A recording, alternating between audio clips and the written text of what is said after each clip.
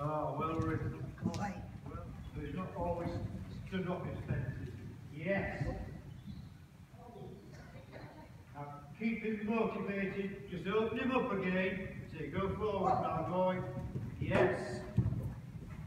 Got the correct lead. The same again. Start moving him forward now. Oh, I did it the wrong way. You did, yeah. He was confused when he ran that corner. Yeah. Did I do it